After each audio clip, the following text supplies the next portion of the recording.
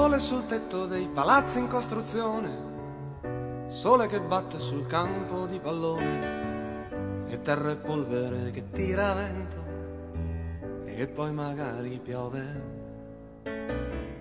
Cari amiche e cari amici, eccoci di nuovo insieme per Salotto Italiano. Oggi sono in compagnia di Savino Zaba, un uh, personaggio poliedrico, conduttore, Siamo attore, politico. eh, doppiatore. Eh, insomma, Savino, se ti dico beato a chi ti puglia, che eh, cosa ti fa pensare? Pugliese doc di Cerignola, Cerignola. In provincia di Foggia, che è un bel complimento dire beato a chi ti puglia perché Vabbè, il titolo del mio libro in realtà ed è un augurio, un complimento che fai a una persona quando auguri, quando le auguri il meglio, no? beato a chi ti piglia, beato a chi un giorno ti avrà come sposo, come sposa. Da questo gioco di parole è venuto fuori il libro che si chiama Beato a chi ti puglia, che è una serie di racconti, di aneddoti eh, ambientati negli anni 70-80 che sono gli anni in cui ho vissuto appieno la mia terra, la mia Puglia. È un omaggio di un giovane migrante alla, alla, alla sua terra. Insomma. Dove comunque c'è molto sentimento perché eh, ci sono dei racconti veramente accurati dove tu eh, insomma eh, racconti anche tue, eh, dei tuoi pomeriggi trascorsi in bicicletta, insomma un libro che emoziona. Assolutamente, eh, mi emoziona, mi emoziona soprattutto ritornare indietro nel tempo con la memoria, riappropriarmi appunto di, quelli, di, quella che è stata la mia infanzia, di quella che è stata la giovinezza, adolescenza, e, e pieno d'amore. E, mh, sì, beh, io poi tra l'altro mi sono eh, accorto di essere fortemente legato alla mia terra quando sono andato via, ormai sono quasi 19 anni che non vivo più a Cerignola e come diceva Domenico Modugno, la lontananza è come il vento, accende i fuochi grandi e spegne quelli piccoli. La lontananza in realtà ha acceso questo fuoco che ardeva dentro di me e che mi ha riportato alla memoria dei, appunto, delle giornate, dei miei pomeriggi. Insomma, è un libro che mette in evidenza in realtà attraverso i miei ricordi, vizi, virtù dei meridionali, dei pugliesi in particolare. Che ti ha emozionato e che fa anche emozionare e dal quale tra l'altro hai tratto anche un recital perché lo hai portato in teatro. L'ho portato in teatro perché i racconti si prestavano molto ad essere eh, interpretati, recitati sul palcoscenico. Ho fatto qualche esperimento e poi ho deciso invece di mettere su lo spettacolo, il recital, che è fatto di canzoni, canzoni della tradizione popolare e folcloristica pugliese, ma riarrangiati in una chiave completamente nuova e moderna. Un po' chiave jazz, jazz, jazz swing, eh, reggae, insomma, la tradizione rivisitata in una chiave completamente nuova. Insieme alle canzoni ci sono i racconti, ci sono anche degli ospiti importanti nello spettacolo, il 6 marzo Roma. Roma eh, quindi, e poi da fine febbraio inizia la tournée invece in giro per l'Italia e con me ho una band di musicisti straordinari, la Beato Quartet Band, ho un ospite speciale che è Amalia Gre, la cantante jazz, e poi una danzatrice Francesca De Luca che interpreta il ruolo di mia madre e danza all'interno di questi spettacoli. Insomma, veramente eh, questo spettacolo, questo libro sono un po' il coronamento di un sogno e il completamento in realtà di quello che, che mi piace fare in questo lavoro, che non è soltanto la radio e la televisione. Vogliamo vedere qualche immagine? Ma certo, emoziona. Uvi, uvi, uvi, camo se ne vede La sigaretta mocca che facendo scemo. Quanto è bella lo primo amore Lo secondo è più bella ancora. Mari, Mari, Mari, chiama a fare una risa. Facimmoci un ballo senza la camisa. Quanto è bella lo primo amore Lo secondo è più bella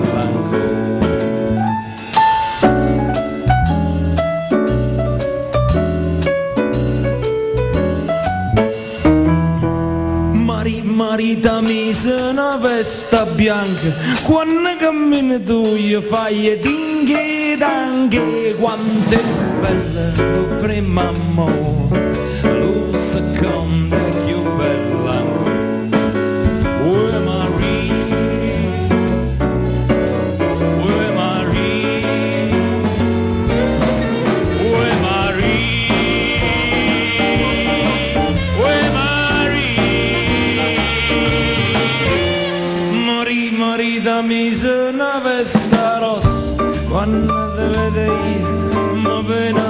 mosse, quanto è bella lo primo amore, lo secondo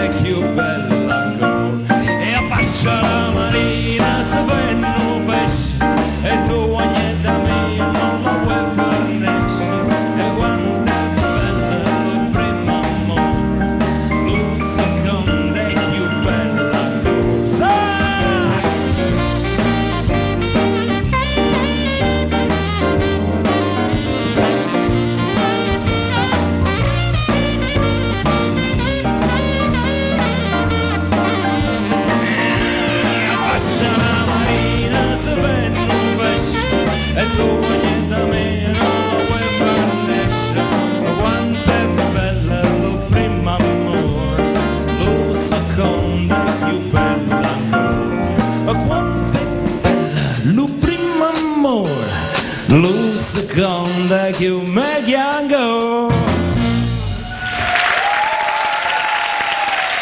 Un classico della tradizione popolare pugliese che abbiamo riarrangiato.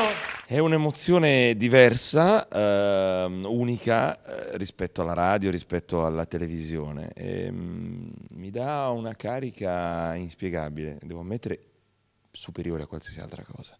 Il contatto col pubblico, il palcoscenico, il sipario, il copione, eh, l'applauso eh, quando c'è.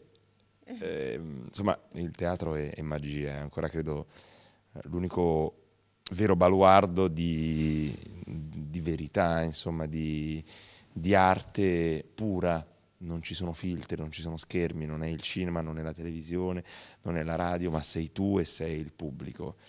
Ehm, quello che provo a teatro è, è difficilmente spiegabile e sicuramente eh, un- una carica emotiva superiore a qualsiasi altra cosa. Qui c'è scritto in villa io ci andavo quasi tutti i giorni, principalmente per fare quello che era vietato.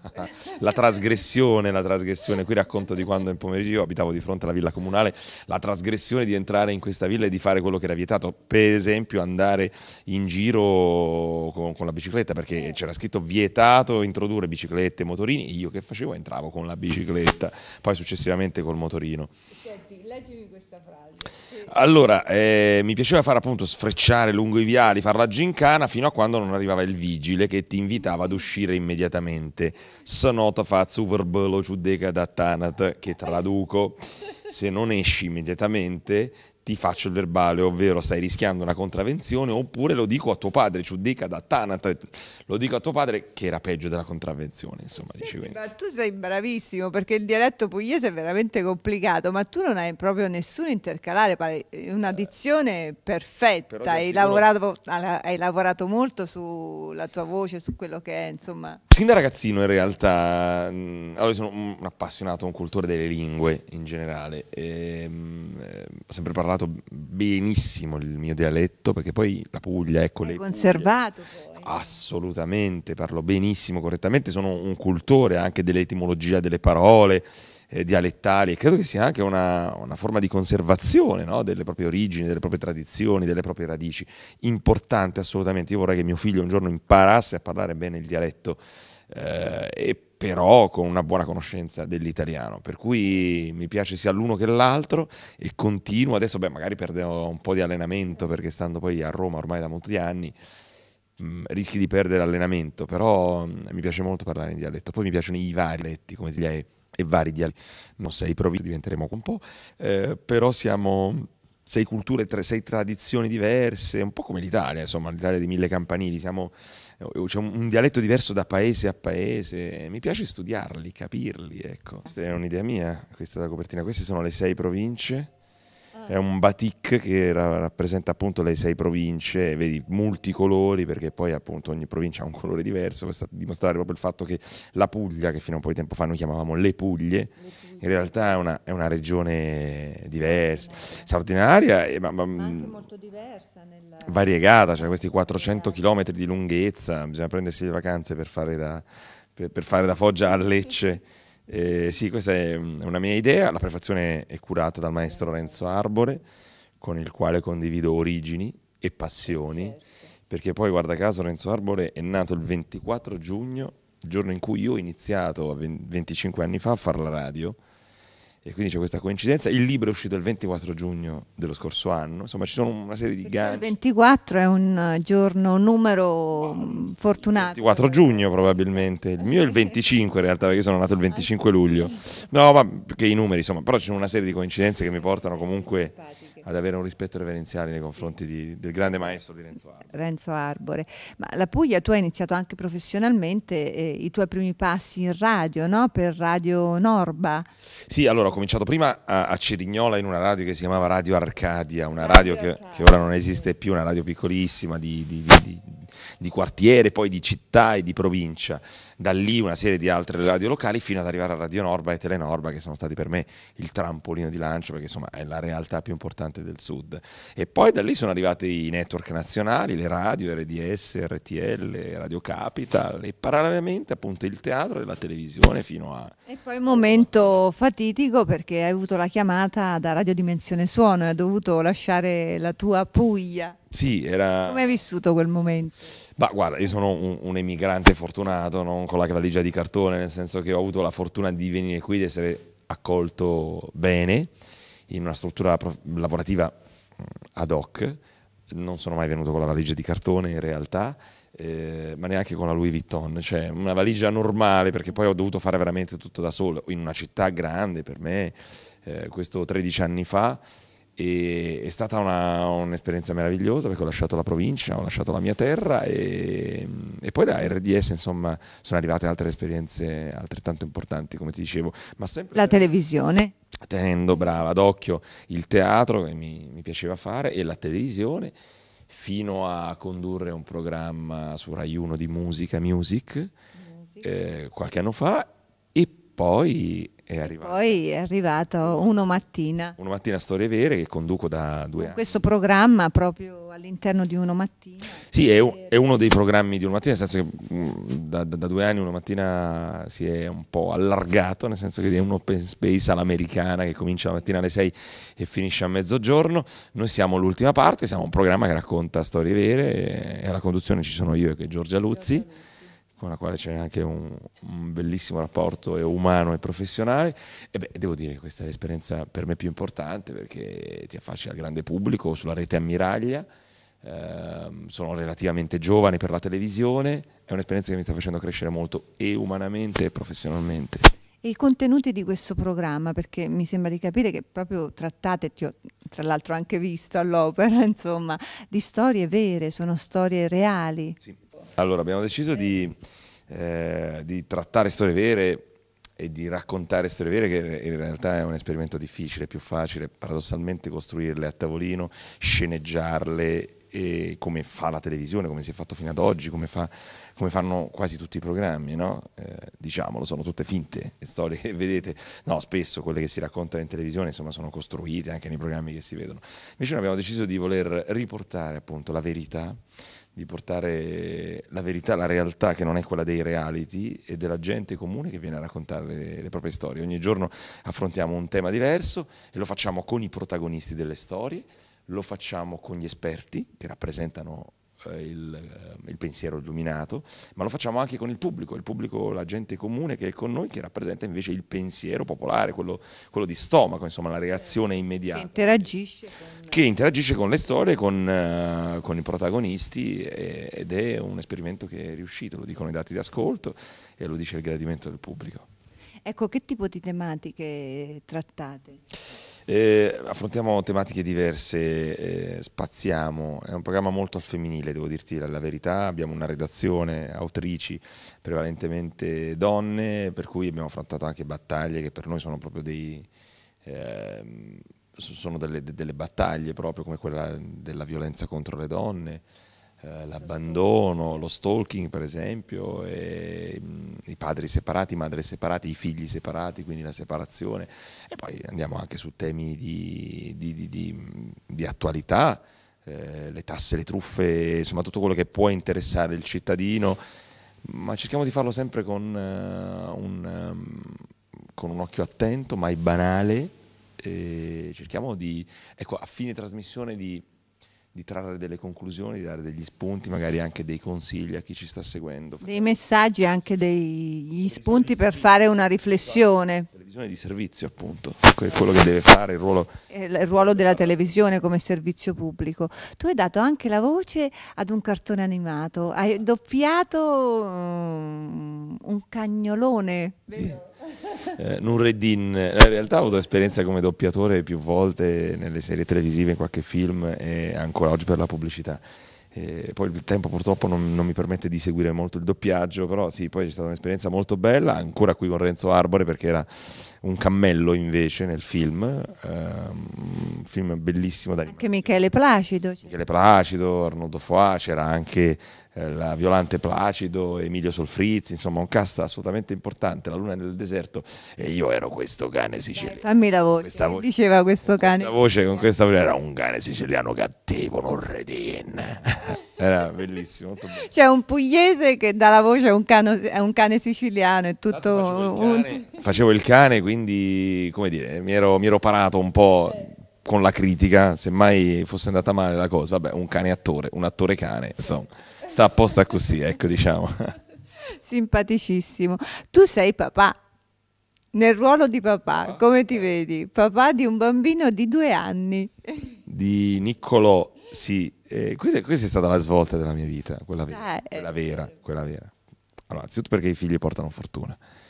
Perché dopo la nascita di Niccolò sono successe tantissime, co- tantissime cose, appunto lo spettacolo, il libro, e, e, beh sì, la radio già c'era, ma continua a crescere, otto volanti su Radio 2, ma è arrivata la televisione, e, ma poi soprattutto è, arrivata, è, arrivato, è arrivato lui a, a catalizzare la mia attenzione, a, a non pormi più al centro del mondo, ma a mettere lui al centro del mondo. Insomma, l'esperienza di padre è un'esperienza che mi sta facendo crescere tantissimo, anche perché poi fare un figlio è facile, diventare bravi genitori lo è un po' meno, è più difficile ed è una palestra, una scuola, un'università quella che sto frequentando ah, con Niccolò, assolutamente. È vero. E lui quando ti vede in tv che cosa ti dice? Che, che- vabbè, ancora è in un'età in cui... Però adesso comincia a riconoscermi, siccome lui mi chiama Daddy, Daddy? Daddy allora quando passo in televisione faccio Daddy, Daddy, Daddy. Simpaticissimo. Quello che riesce ancora a dire, insomma, a due anni. Tra un po' si accorgerà anche lui, ma cercherò di eh, non di tenerlo a distanza, per carità. Vorrei che lui facesse quello che, che vuole, quelle che sono le sue inclinazioni e io aiutarlo ecco, a, a seguire i suoi sogni, i suoi desideri. Certo, della televisione un mondo, del- mondo abbastanza complicato. Quale mondo preferisci? Ecco, tu hai attraversato momenti in cui hai fatto radio, televisione, teatro. ehm, a, un, un ragazzo che vorrebbe ecco, entrare nel mondo del- dello spettacolo, che consiglio daresti? Ma io intanto non, non- non precluderei nessuna strada. Io sto bene in tutti questi ambiti, contemporaneamente è molto difficile perché poi lavori 14-15 ore al giorno, non è facile, però io, mh, a me mi è sempre piaciuto fare più cose contemporaneamente, ovviamente con delle, con delle assonanze, con delle attinenze, non faccio l'idraulico, il falegname e poi il conduttore, ecco. eh. Sono tutte cose che in qualche maniera hanno un filo rosso, un filo conduttore. Il consiglio è, è che, che non mi è mai piaciuto dare consigli anche perché non, non saprei ergermi a... Posso raccontare la, a professore, posso raccontare la mia esperienza, è l'esperienza di uno che fa veramente da solo, dalla provincia, dalla provincia del sud, con grandi sacrifici, con grande tenacia, voglia di fare. Eh, il mio motto è sempre stato e lo è ancora volere e potere, eh, nel senso che una cosa quasi sempre, se la vuoi, riesci ad ottenerla con sacrificio, con... Tante volte mi è capitato di, di fermarmi davanti a un ostacolo e dire no, non ce la posso fare. Ecco, se fossi stato più debole probabilmente avrei smesso e ora starei facendo dell'altro. Invece ho sempre avuto caparbietà, tenacia, grinta e poi impegno, passione e studio. Studio, studio, studio. Io mi incuriosisco, mi appassiono, sono andato a studiare all'università. Che bravo! Eh, cercando di riprendere un sogno. Insomma, sei molto determinato. Sì, eh, sì, sì, sì, sì. quello che vuoi quello, e ti impegni e riesci sempre ad arrivare al tuo obiettivo, alla tua meta. Diciamo che ci- ce la metto tutta, poi chissà, ecco, questo dell'università, adesso io mi sono dato questa, questa, quest'altra mission di portare a, a, compimento la mia grande passione, un sogno rimasto ancora irrealizzato, quello della laurea in lettere eh, che credo e spero arriverà, insomma, ce la metterò tutta perché arrivi anche quella. Sarà anche quella una, una grande soddisfazione. Eh? Ho questa raucedine, ho questo raffreddore maledetto. Ecco, Va ecco, bene. cantarti una canzone, eh, non è possibile. Eh, no, non perché è, io ti ho visto all'opera, sei veramente bravo, bravo, canti e balli anche. Eh? Uh, ballicchio, no, attenzione, non, non, non, prendiamoci meriti che non, no, ballicchio, no, non sono bravissimo po' di radio. Tu hai questo programma dove interagisci con tanti comici. Otto Volante, che è il programma di Radio 2, eh, è un programma originale, io trovo, perché ha portato la comicità, il cabaret, quello che si vede anche nei, nei canali televisivi, in televisione, ma in radio, quindi dove eh, il comico lo devi ascoltare, devi ascoltare per quello che dice, quindi per i suoi testi, per i contenuti del suo pezzo, del suo monologo e non per la mimicità, per la fisicità, per una faccia. Quindi è un esperimento molto bello, vincente. È anche difficile perché fare da spalla a un comico, intervenire al momento sì. giusto, non è facile. Però anche quella è una grande palestra, è una grande palestra che mi sta completando, quella di stare insieme a questi matti, questa gabbia di matti, perché i comici sono tutti matti e questo mh, mm, appunto per, per, per, completare ancora di più l'opera di chi fa questo mestiere, che è quella del conduttore. Io il, il conduttore lo immagino capace di poter fare diciamo tutto, quasi tutto, suonare, cantare, ballare, recitare, interagire con un comico, con un politico piuttosto che con il pubblico. E... Tra i mm, big, i tanti conduttori no, della, del Pantheon eh, della RAI, qual è il tuo preferito? Ne avrai uno? Beh, io sono molto legato buff, la, all'eleganza, alla sobrietà, alla classe, all'ironia di Corrado, ma beh, tra i nuovi è inutile dirlo, Fiorello in assoluto, mi piace molto la professionalità di Paolo Bonolis, sono, sono questi insomma quelli che ognuno con cose diverse rappresenterebbe il mio conduttore ideale. Ecco. Dopo la laurea, mm, quale potrebbe essere un tuo obiettivo in RAI? Ah. Ma chissà, una, qualche bella prima serata e vale sognare? Vale, vale i sogni, i sogni sono quelli che contano e che danno vita alla vita. Il Festa di Sanremo, o da cantante, o da conduttore, oppure anche in prima fila tra il pubblico. Grazie Savino per essere stato con noi a Salotto Italiano. È stato buono. È stato buono.